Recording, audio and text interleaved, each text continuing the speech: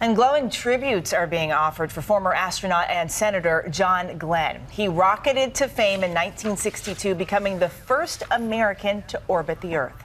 Now, later, Glenn served as a senator from Ohio for 24 years. He was part of a shuttle mission in 1998, which made him the oldest person ever in space. Glenn died yesterday at the age of 95.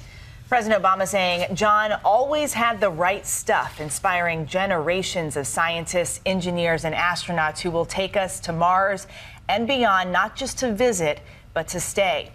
And Donald Trump tweeting, he was a hero and inspired generations of future explorers. And he will be buried at Arlington National Cemetery, of course, in the D.C. area.